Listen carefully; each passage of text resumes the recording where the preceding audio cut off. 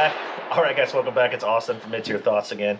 Uh, we're gonna be going over a couple cool things today. We're gonna be talking about 22 caliber uh, conversion kits or 22 caliber rifles for training.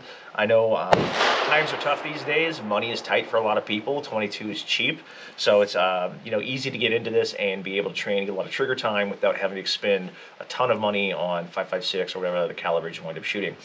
So uh, first thing we're going to do is kind of go over the rifles that I have in front of us first, and then we'll kind of go down into how we're going to use them and what tools and stuff we might need. So starting in the back here, this is my Springfield 2020 rimfire. It is got a primary arms 3 to 9 on top. So this thing's pretty sweet. It takes Ruger 1022 mags, either the 10 rounders or the 25s.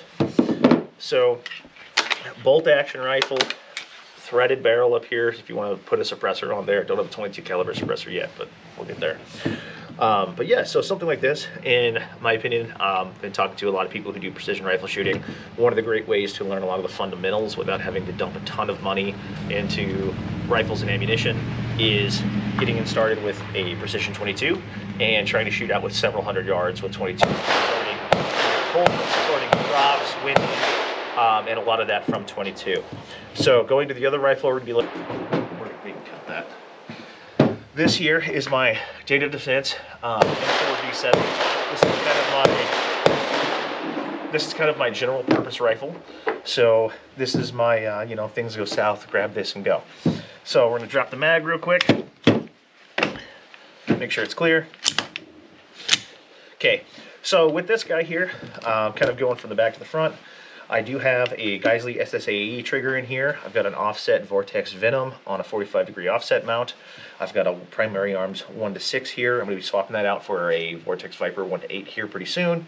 Um, my Surefire light up front. I've got backup irons and then my Yankee Hill Turbo K suppressor on here with the bipod and the vertical grip. Now, this here is the CMMG 22 conversion kit with the magazine for it. So the cool thing about this is come in 10 or 25 round varieties, depending on where you live and the state. This here uh, is the replacement bolt. So we just swap out our bolt carrier in here for this. It does come with a charging handle as well. Sometimes I find with rifles, uh, you do have to use their charging handle. I use my normal one, I have a problem with it. So the way that this works is this inserts into the chamber looking just like a 5.56 cartridge. And then this is your reciprocating bolt that will pick up your rounds and load them in. So to swap that out real quick, all we gotta do is pop out our pin.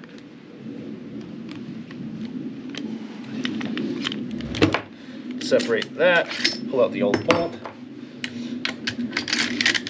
slap in the new one, and now we've gone from 5.56 to 22. So with the suppressor and everything else, I've shot this thing a bunch. If you watch my other YouTube videos or any of my uh, White Light Wednesday videos, you've seen me shoot this a lot on here. So uh, we're gonna be shooting around a little bit with this today, kind of showing off how quiet it is suppressed, unsuppressed, how well it works, and uh, getting some reps on this. But it's a great way to get into the platform for uh, super cheap. The CMMG uh, bolt with the magazines, I think you get three mags and the bolt for around 200, 250 bucks ish. Uh, prices may have gone up since the last time I looked at that. But again, that's from CMMG. And the cool thing about these, again, is especially if you're in an area where, um, like California or Washington, where potentially uh, getting a semi-automatic rifle is hard to get nowadays, but you have a AR-15 already and you want to do 22 for training, you can just get these conversion kits. Super simple, nice and easy. All right, guys, so got a 25 round mag of uh, 22 Thunderbolt. You can see the shorter throw too on the bolt. We got our Yankee Hill Turbo K suppressor, so we're gonna see how nice and quiet this is.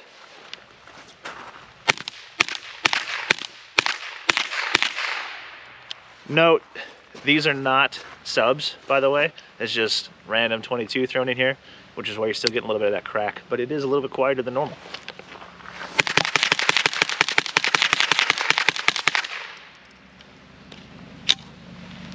Yeah, see, so as you can see, 25 rounds, no problems. A lot of people have issues with 22. This conversion kit works super well. We're gonna reload the mag and keep going a little bit more. So one, so once you've got the uh, CMMG bolt in there, one thing you'll notice too is that the much shorter distance the bolt has to travel there, and also generally you won't be able to lock it to the rear, so you do have to hold it open. Now, when you're just using it for training, it's not necessarily a bad thing, but it's just something to keep a note of. So we're gonna load back up again. Again, same ammunition as before. And we're just gonna try shooting a couple targets, see how we do.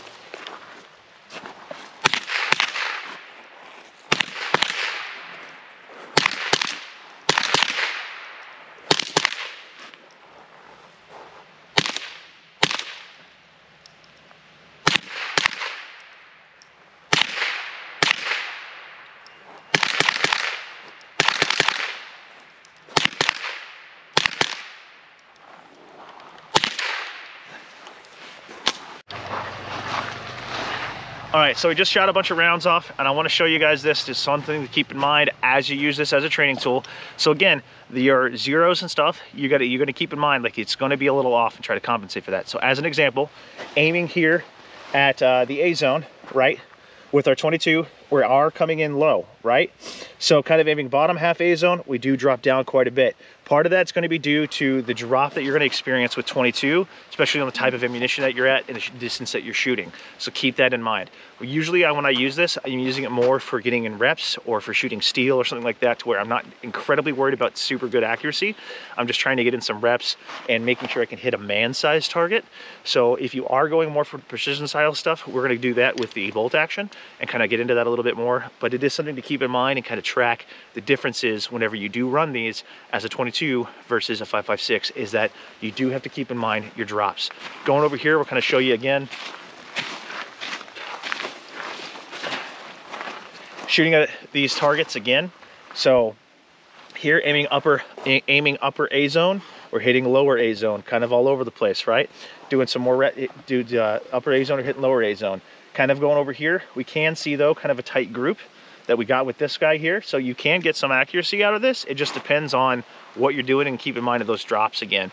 So kind of using these to show the different targets to show different examples of what this is capable of. Going over here again, similar thing. That again, you're going to be a little off from what you're doing with your 5.56 if you don't keep in mind what your different your different drops are. And a lot of that's just going to come with playing around with it and getting used to it. But as far as being able to see that we did hit a man-sized target, that's plus. Granted, we weren't really that far. We're only about probably 20 yards. So the drop on 22 is significantly more than 5.56. But for just training, getting reps in and just getting a lot of trigger time down, it's still a great tool. Again, I wouldn't be necessarily using this if you're trying to get, you know, super accurate headshots or something like that all the time and training for that purpose. Again, I would go back to 5.56 with your fighting rifle, but for getting trigger time in, doing fun shoots, things like that, it's a nice, cheap, easy way to train. All right, guys. So as I previously mentioned, again, like the AR conversion kit is a great tool for training. Again, I'm not getting, I'm not going to say that it's going to be the best tool for getting like exact accuracy, right? It's going to be more along the lines of like, can you hit a man-sized target? Um, you know, can you hit steel, things like that? Do you still want to get some reps in, still be able to hit the target, do your transitions, but do it cheaply? Now, with 2020 uh, rimfire here, we are going to focus a little bit more on accuracy. This is kind of set up for that. We are only at 27 yards. It just happens to be the bay that, that we chose at the range today. It's just the one that's open, so we're going to make do with what we got. So uh, I've got a sticker down there on the target. We're going to fire a few rounds and see how we do. All right?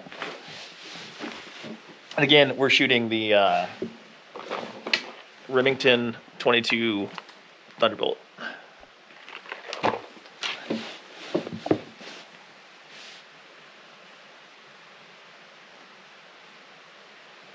Probably helps if I have the safety off and I'll round the chair.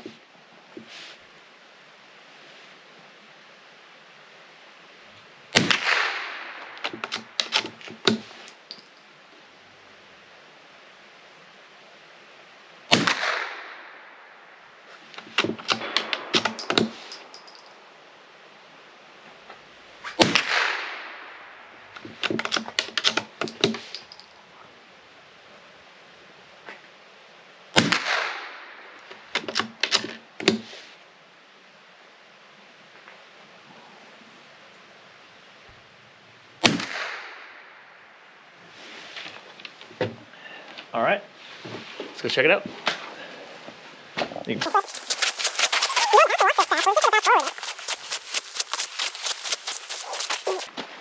All right, so you can see my little group here. Uh, so I'm going to say that it's definitely more me than it is the rifle or anything like that.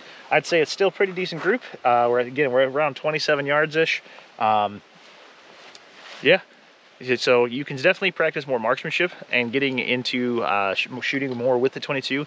The great thing about it as well with something like the 2020 is I actually got that from my son for Christmas. My kid's about eight years old and it's a great way to get uh, the younger generation in or new shooters in because you can be fairly accurate with it and at, at decent distances for 22 You've got a nice bit of magnification, it's relatively quiet, and you also don't have a ton of recoil. So it's another thing to consider as well. So again, going back to far as training, um, if we were at a further distance, unfortunately, this is just the bay that we chose today.